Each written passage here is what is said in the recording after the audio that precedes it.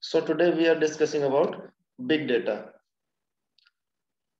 and its characteristics exclusively.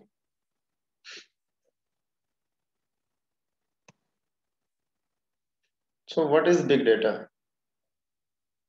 You all know big data, that means the data that is in huge amount. The quantity of data is very large. So it generally refers to the large data sets और जब एक large data set है तो उसके लिए क्या दिक्कत आएगी उसको सर्च करना उसको स्टोरेज करना उसको शेयर करना उसको विजुअलाइज करना एंड उसको एनालाइज करना these are various kind of challenging task that you will need to do when you are having big data because data is in very extensively huge quantity ठीक है तो its scale is very high it's very diversified data that means of varying varieties and complexity complexity of data is also very high because as the uh, size of the data grows so definitely the complexity to handle to manage to store the data also increases ठीक है तो उसके लिए क्या होगी we require some various kind of sophisticated tools and techniques we require some particular kind of architecture, जो उसको manage कर सके इफेक्टिवली उसको यूटिलाइज कर सके, उसको यूज़ कर सके for a particular application which is under consideration ठीक है? क्योंकि आप जब भी कोई पर्टिकुलर एप्लीकेशन के ऊपर काम कर रहे हो तो आपको एक स्पेसिफिक डेटा की ज़रूरत होती है। तो आपको उस बिग डेटा में से क्या करना है? वो रिक्वायर्ड डेटा को फैच करना है। और उसके लिए you required sophisticated architecture sophisticated algorithms latest tools and techniques to analyse the data appropriately ठीक है जी? तो this is the general model of generating और consuming the data that has changed over the past तो past में क्या होता था? कि डेटा जो जनरेट हो रहा था दैट वाज वेरी लिमिटेड यानी कि बहुत ही limited data was being generated from a few of the organisations ठीक है? और बाकी सब क्या करते थे? उस डेटा को कंज्यूम करते थे। भाई, बाकी सब क्या थे? Consumers means producers were very less for the data and consumers were all लेकिन now is the scenario is totally different. Now what actually going on is that everything, everyone is generating the data. And everyone is consuming the same यानी कि सबके सब data produce भी कर रहे हैं by using various ways and means of doing the things और उस डेटा को कंज्यूम भी करने लग रहे हैं। यानी कि all are producers and all are consumers तो जब ये एक सिचुएशन अराइज होती है जहाँ पे all are producers and all are consumers तो that means we are dealing with huge amount of data और हमें उस डेटा को क्या करना पड़ेगा? मैनेज करना पड़ेगा इफेक्टिवली क्योंकि ऐसा तो है है नहीं कि everyone consume all of the data if if I am talking about me तो मैं वही डेटा कंज्यूम करूँगा जिसकी ज़रूरत मुझे है, ठीक है? आप उस डेटा को कंज्यूम करेंगे which is required to you तो that is the refinement of data on the basis of the individuals requirements and needs ठीक है?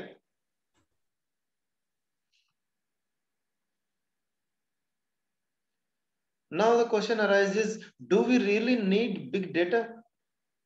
क्या एक्चुअल में हमें ज़रूरत है definitely we require big data because now is the technology environment and everything that is related to technology is based on the data आप तो बिना डेटा के भी काम कर सकते हो because you are having your six sense but if you are talking about the technology if you talking about the machines तो मशीन्स को क्या चाहिए भाई?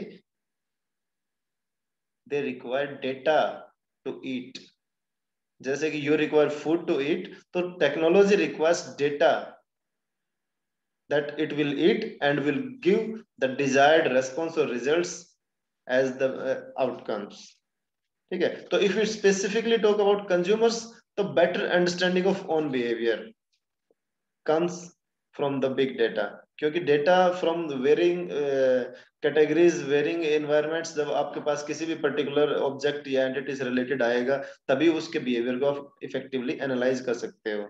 ठीक है? Integration of activities different activities are being integrated. आप एक कोलेबरेटिव इन्वायरमेंट प्लेटफॉर्म प्रोवाइड कर रहे हो, जहाँ पे आप वेरियस काइंड ऑफ़ एक्टिविटीज़ को आप क्यूमुलेटिवली परफॉर्म कर सकते हो।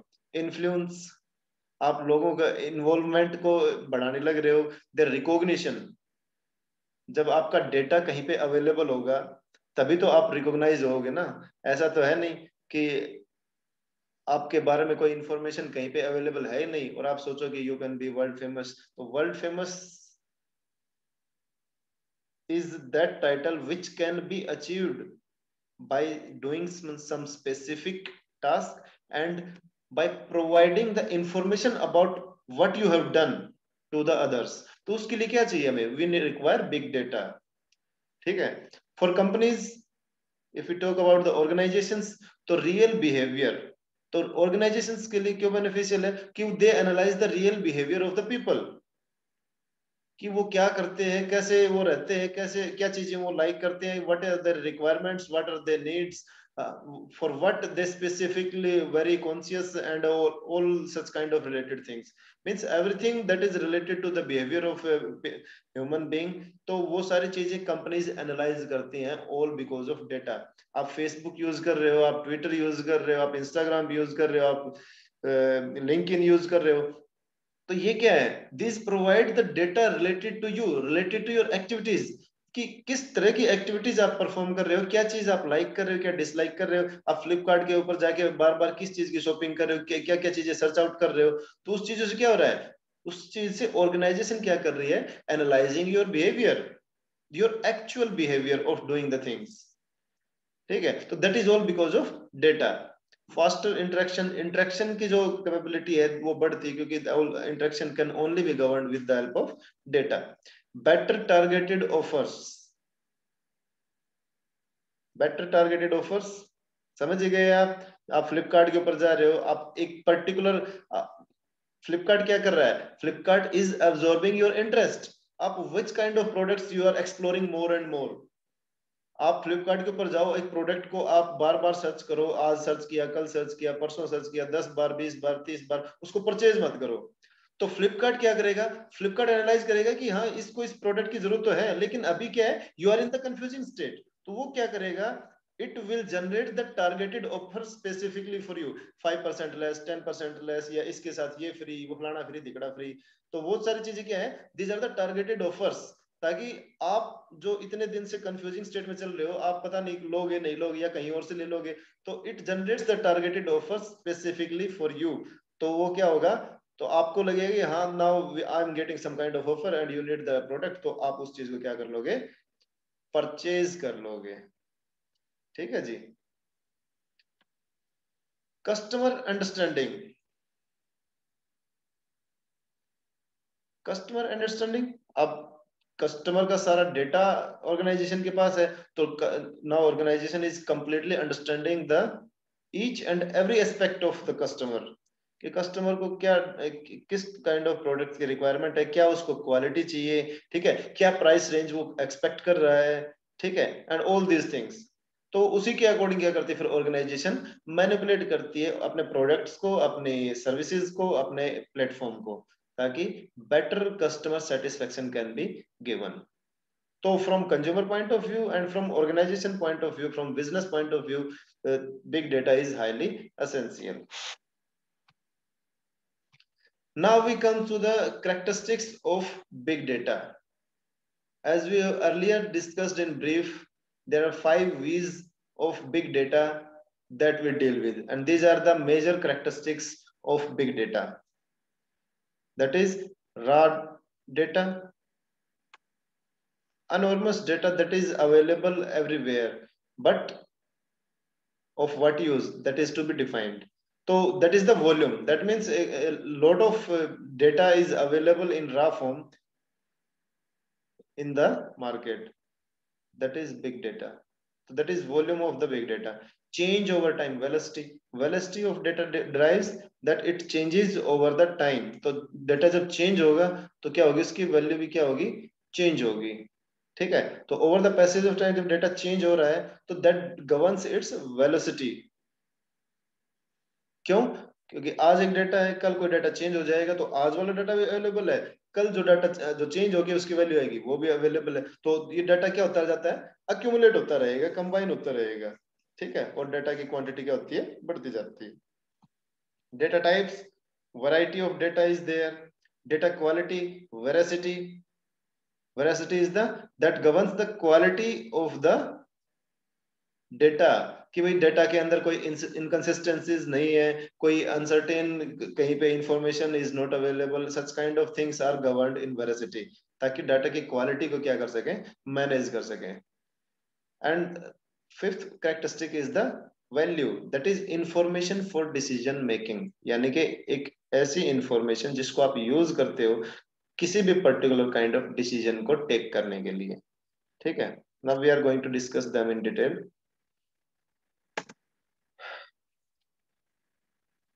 So first we are discussing about volume. As you can see in the graph, it is showing the data growth year by year. So from 2011 onwards, data is growing at a very slow pace, but is continuously increasing. And as the year passes away from 2016 onwards, data is uh, just like exploding in nature. क्योंकि we are now in a habit of doing most of the tasks over the web. तो वहाँ पे क्या हो रहा है? Data is being generated by each and every activity that you are doing over the web ठीक है? तो क्या कह रहा है? Big data is vast volumes of data generated from many sources क्या ये? डिफरेंट सोर्सेज हैं, उनसे जो डेटा जनरेट हो रहा है। उसको ही हम क्या बोल रहे हैं जी? बिग डेटा बोल रहे हैं। जैसे कि बिज़नेस प्रोसेस हैं, आपकी मशीन है सोशल मीडिया प्लेटफॉर्म हैं, आपका नेटवर्क है, आपके ह्यूमन इंट्रेक्शंस है and many more kind of activities if you generally talk about the if you talk about the Facebook तो it generates approximately billion messages 4.5 billion times that the like button is recorded एक like button के के data की बात करें तो 4.5 billion times जो data है वो जनरेट हो रहा है। And more than 350 million new post are uploaded each day अब इतनी सारी पोस्ट डेली जब आने लग रही है तो एक सिंगल प्लेटफॉर्म की बात करें फेसबुक की। इस तरह के और there are many more platforms that are available तो you can imagine how much quantity of data is being generated every day, every moment of time.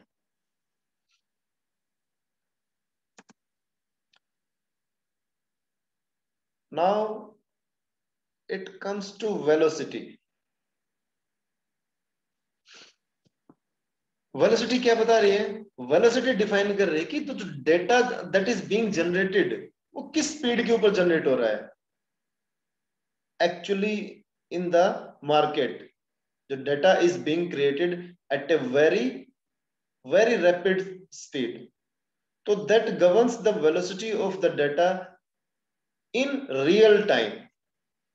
तो इसके अंदर आपके जितने भी इनकमिंग डाटा सेट्स होते हैं, उनकी स्पीड्स होती है रेट ऑफ़ चेंज कितना डेटा नया आ रहा है, कितना डेटा चेंज हो रहा है and what are the various kind of activities that are going on the data so these all are cumulatively formulating the velocity of the big data. That means how much uh, at what speed the data is being generated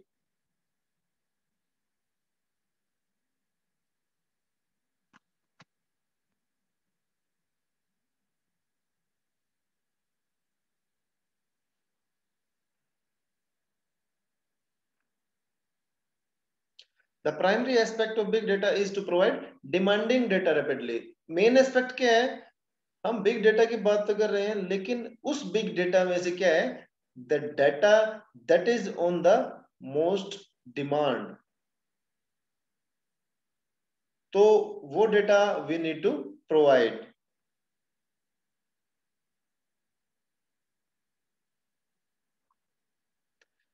Then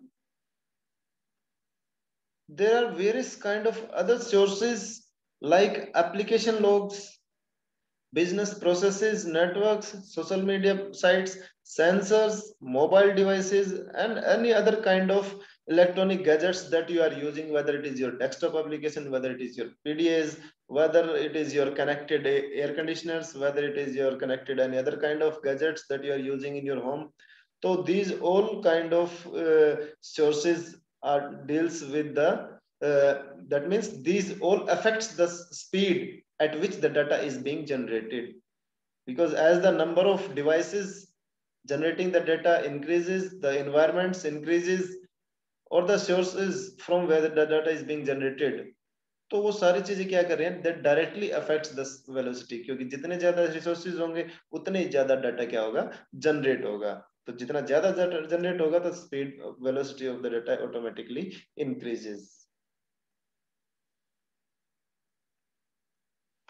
as you can see in the diagram तो यहाँ पे आपको एक main frame computer system दिखाया हुआ है, जिसके जो क्या है, एक क्लाइंट सर्वर आर्किटेक्चर के अंदर कनेक्टेड है, ठीक है through with the help of internet क्योंकि क्लाइंट सर्वर आर्किटेक्चर क्या होता है, जहाँ पे क्लाइंट है और एक सर्वर है। तो सर्वर से क्लाइंट रिक्वेस्ट करता है, लेकिन वो कनेक्टेड किसके थ्रू है? थ्रू द इंटरनेट अब these are the various kind of social, whether it can be social media or any other cloud service that you are using over the internet.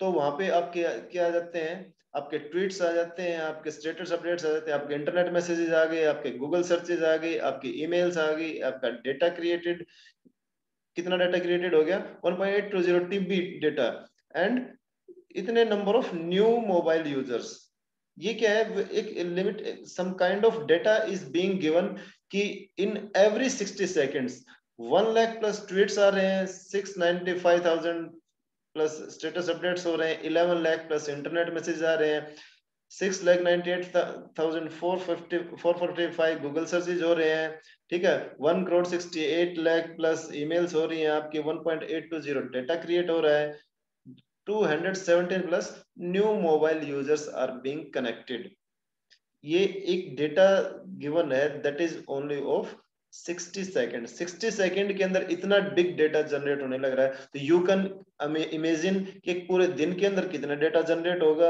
एक महीने में कितना होगा and in the coming years how much data is being generated so you can uh, virtually imagine big data is not just to say big data is it is actually a big data to deal with and if we are not in a habit of eventually managing this big data so that will definitely be a danger zone for us ठीक है तो manage करना is also important generate करना data is very easy आप easily generate कर रहे हो आपको पता भी नहीं that you are generating so much amount of data लेकिन उस डेटा को अगर for your betterment if you want to use तो आपको उस डेटा को क्या करना पड़ेगा? मैनेज करना पड़ेगा।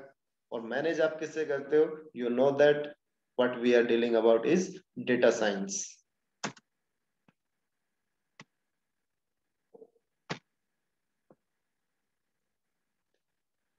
Next comes variety of the data. If we are talking about the variety of data so data can be structured, it can be unstructured or it can be semi structured कौन सा data जो data आप collect कर रहे हो from different sources from different varieties of data is being collected ठीक है? तो कलेक्ट कहाँ से हो रहा है डाटा आपके डाटाबेसेस से हो रहा है डेटा सीट्स जो हो रही है, उनमें से जो पास्ट के अंदर एग्जिस्ट करती थी उनमें से, और वहाँ से फिर डेटा क्या हो रहा है? रिफॉर्म हो रहा है from the using the existing platforms और environments that you are using whether it is a social media platform और any other kind of platform that you are using तो जो डेटा है, पहले तो क्या होता था वेरी जो वैरायटी ऑफ़ डेटा थी, वो क्या थी? बहुत ही लेस होती थी। आज के दिन डेटा क्या हो रहा है? Data is being generated and being collected in variety of forms in various forms that are available in the market like आपके पीडीएफ्स हैं, आपकी ईमेल्स हैं ऑडियोज ठीक है जी? Short message post photos videos graphics animations ठीक है? So there are various kind of data that is being generated. अब variety of data है डिफरेंट काइंड ऑफ़ डेटा है, वो जनरेट तो हो रहा है ह्यूज अमाउंट के अंदर but you need to utilize that data तो उस पर्टिकुलर डेटा में से if you want to extract the information और the knowledge about a particular thing तो आपको क्या करना पड़ेगा? आपको उस पूरे डेटा को कंबाइन करके उसको रिफाइन करना पड़ेगा, उसको मैनिपुलेट करना पड़ेगा, उसको एनालाइज करना पड़ेगा। ठीक है? And then you can find the you can extract the knowledge from that data so categorization of data, as you can see in the diagram, that data is moving from a unstructured to the structured layout. ठीक है जी? यानी कि एक unstructured होता है, एक quasi structured है, एक सेमी स्ट्रक्चर्ड है और एक स्ट्रक्चर्ड कैटेगरी ऑफ़ डेटा है। ठीक है जी? तो स्ट्रक्चर्ड तो क्या है? जो आपने डेटाबेस पढ़ा, अभी तक आप डेटाबेस पर से पढ़ते हैं रिलेशनल डाटाबेस जिसके अंदर क्या होता है? Data is being managed in the relations in tables जहाँ पे क्या डाटा कंप्लीटली स्ट्रक्चर्ड फॉर्म के अंदर है। ठीक है? कोई उसके अंदर एनालिज नहीं होती you just refine the data by using various kind of normalizations and other kind of techniques तो that is the structured data जिसको यूज़ करना, जिसको इंप्लीमेंट करना is very easy and efficient दूसरा क्या है? सेमी स्ट्रक्चर्ड सेमी स्ट्रक्चर्ड क्या होते हैं? जो क्या होते हैं? Which are less of the structured data जिसके अंदर जैसे आपके एक्सएमएल डेटा हो गया सीएसवी फाइल्स होगी, आपकी ईमेल्स होगी, जिसके अंदर क्या है डेटा एक ऑर्गेनाइज्ड वे में है but that is not the completely structured that is half structured half it is unstructured और जो अनस्ट्रक्चर्ड डेटा होता है तो उसको आपको पता है दैट इज़ कंप्लीटली अनस्ट्रक्चर्ड चाहे वो आपका एक, किसी पर्टिकुलर एक ड्राइव के अंदर पूरा डेटा स्टोर्ड है, या आप किसी पर्टिकुलर जैसे आपका रफ एक डेटा स्टोर होता है, जहाँ पे आपके ऑडियो फाइल्स भी हैं, आपकी वीडियो फाइल्स भी हैं, आपकी इमेज फाइल्स भी हैं, आपकी graphics animation every kind of data आपने क्या कर रखा है? एक सिंगल लोकेशन के ऊपर आपका क्या डाटा स्टोर्ड है। तो that is your unstructured data और एक होता है quasi structured data quasi structured data क्या है? एक टेक्सचुअल डेटा होता है विद इनकंसिस्टेंट डाटा फॉर्मेट्स जिसके, यानी कि क्या है? जिसके ऊपर कोई पर्टिकुलर फॉर्मेटिंग अप्लाई की है, लेकिन वो प्रॉपर तरीके से अप्लाई नहीं की फॉर्मेटिंग यानी कि जिसको, ये कहते हैं just like in very ignorant way things that are being done तो दैट इज़ क्वासी स्ट्रक्चर्ड कि आपने उसके ऊपर एफर्ट किया भी, लेकिन फिर भी वो पूरी तरह से एफर्ट नहीं किया ठीक है? तो क्या हो गया वो? That comes in the category of quasi structure textual data है, लेकिन क्या है? Inconsistency is there in the formatting of the data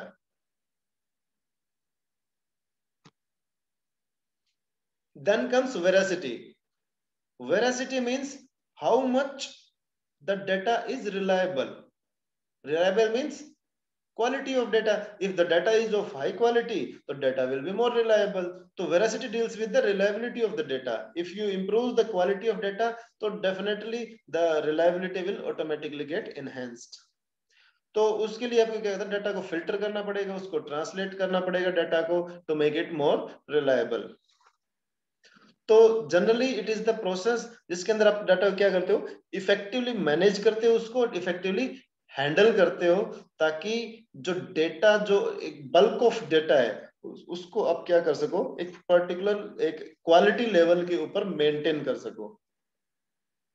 ठीक है जी? फॉर एग्जांपल आपके फेसबुक पोस्ट्स विद हैशटैग्स जो हैं आपके फेसबुक के ऊपर पोस्ट डालते हो, उसके अंदर हैशटैग्स इंक्लूड करते हो। हैशटैग से क्या होता है? तो hashtag uses some kind of keywords जो क्या करता है? जो रिलेट करता है किसी पर्टिकुलर ऑब्जेक्ट या पर्सन को उस पर्टिकुलर पोस्ट के अंदर। तो उससे क्या होगा? उससे वो डाटा क्या होता है? मोर मैनेज होता है कि भाई आप डेटा को कहाँ पे रिलेट करना चाहते हो और किस पर्टिकुलर पर्सन के साथ उसको अटैच करना चाहते हो। तो वो सारी चीज़ें आप उसके अंदर क्या हो जाती है? इंक्लूड हो जाती है। तो that becomes a quality data तो वहाँ पे डेटा की reliability gets enhanced so that is the veracity that we are discussing about then comes value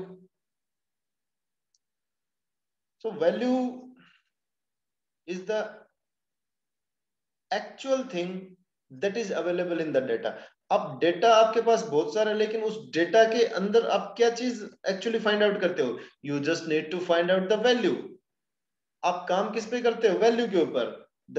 Things that are dependent on the value तो वैल्यू एक ऐसी चीज़ है, एक ऐसी एसेंशियल करेक्टरिस्टिक्स है, जिसको आप क्या कर सकते हो? जिसको आप प्रोसेस नहीं कर सकते, जिसको आप स्टोर नहीं करते, जिसको आप क्या करते हो? यूज़ करते हो। जिसको आप क्या करते हो? यूटिलाइज करते हो किसी पर्टिकुलर ऑपरेशन और टास्क को परफॉर्म करने के लिए। तो it is the main actual thing in big data, the value. तो इसको आपको इफेक्टिवली स्टोर करना पड़ेगा by using various ways and means और द टूल्स एंड टेक्निक्स और उसको प्रोसेस करना पड़ेगा और उसको एनालाइज करना पड़ेगा। Because it is generally the characteristic that deals with the decision making process आप वैल्यू को यूज़ कर रहे हो किसके लिए? डिसीज़न मेक करने के लिए। आप कोई भी एप्लीकेशन डेवलप करने रहे हो, उसके अंदर आपको कोई डिसीजनेटिव टास्क परफॉर्म करना है तो there you require some kind of value on the basis of which आप क्या कर सको? कोई डिसीज़न ले सको। तो उसको आपको इफेक्टिवली एंड मोस्ट इंपॉर्टेंटली क्या करना पड़ेगा? उसको स्टोर करवाना पड़ेगा, उसको प्रोसेस करवाना पड़ेगा उसको एनालाइज करवाना पड़ेगा। किसको? Not the value but the data that comprises of that value which is of your requirement which is of your need तो उस डेटा को आपको स्टोर करवाना पड़ेगा, फिर उसको प्रोसेस करोगे, आप एनालाइज करोगे then you will find out the actual value on the basis of which you will perform some kind of action ठीक है जी? तो डायग्राम आपको दिख रहा है, जिसके अंदर क्या हो रहा है? जिसके अंदर एक चेन डेटा वैल्यू चेन दिखाई गई है, ठीक है? डेटा वैल्यू चेन के अंदर क्या है? एक तो feedback is there at every point of time आप कोई भी प्रोसेस चल रही है आपकी whether it is publication step whether it is an impact step whether it is up step हर जगह पे क्या आ रही है आपकी फीडबैक आप देखते कोई भी प्रोडक्ट भी लेते हो तो आपके पास एक फीडबैक फॉर्म आता है। आप कोई प्रोडक्ट आपने कोई सर्विस यूज़ की किसी इंजीनियर की या किसी और की तो एक फीडबैक फॉर्म जनरेट होता है। आप किसी कस्टमर केयर पे भी बात करते हो तो वो भी एक क्या करते हैं, आपके पास फीडबैक फॉर्म भेजते हैं। वो किस लिए? To generate the data and to refine the values that are of the consumer use तो वही डेटा वैल्यू चेन शो कर रही है, जिसके अंदर आप डाटा को आइडेंटिफाई किया जाता है, उसको कलेक्ट करते हैं, उसको प्रोसेस करते हैं, उसको एनालाइज करते हैं, फिर उसको रिलीज़ फिर उसको डिस्टेमिनेट करते हैं, फिर उसको कनेक्ट करते हैं, फिर उसको इंसेंटिव्स जनरेट करते हैं उसके, फिर उसका जो इन्फ्लुएंस जो होता है, उसको ड्राइव किया जाता है, फिर उसको यूज़ करते हैं। यूज़ करने के बाद क्या होता है? यूज़ जब करते हैं तो if you require some kind of change तो आप उसको चेंज करते हो। और चेंज के बाद आप क्या करते हो? दोबारा से रीयूज करते हो। और इन बिटवीन जहाँ पे भी आपको इफ़ यू फील नेसेसरी तो you generate the feedback for each and every kind of value that are being used by the user ठीक है जी? तो क्या हो रहा है इससे? इससे क्या हो रहा है? इससे आपके जो डेटा की जो वैल्यू है वो इंक्रीज होने लग रही है। उसकी जो आवाज़ गई सर आपकी। वो दैट इज़ बीइंग इंक्रीज तो then we are talking about the generation of data. so there are various kind of scientific instruments from where the data is being generated. There are various social media platforms and the networks from where the data is being generated and various sensor technologies and networks various kind of machines that are acting in the fields or in the particular remote locations from where the data is being collected. So these are the various uh, variety of resources that are uh, specifically used or uh, governed to collect the data and to generate the huge amount of data. तो big data different कैसे है तो for example हम लेके चलते हैं कि भाई एक एयरलाइन जेट है वो 30 मिनट्स के अंदर 10 टेराबाइट ऑफ़ डाटा जनरेट करती है तो उसको हम कंपेयर करते हैं with the conventional high performance computing तो उसके अंदर न्यूयॉर्क स्टॉक एक्सचेंज कलेक्ट करती है एक टेराबाइट आवाज़ गई सर आप conventional corporate structure data is sized in terabytes and petabytes और जो बिग डेटा है that is in petabytes in exabytes और very soon it is going to be zettabytes ठीक है? यानी कि जो बिग डेटा है वो that is very huge in size अरे हम तो आवाज़ एक हेलो मयंक